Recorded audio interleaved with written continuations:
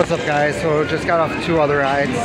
Just rode Valmouse and I also rode Valravn. Let's just say for my first dive coaster on Valravn, that was fun as hell.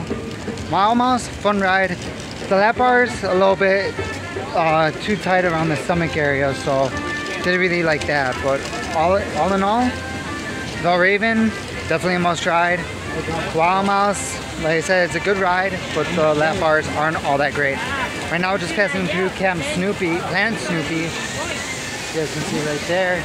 So yeah, so I'll see you guys in a little bit. Later.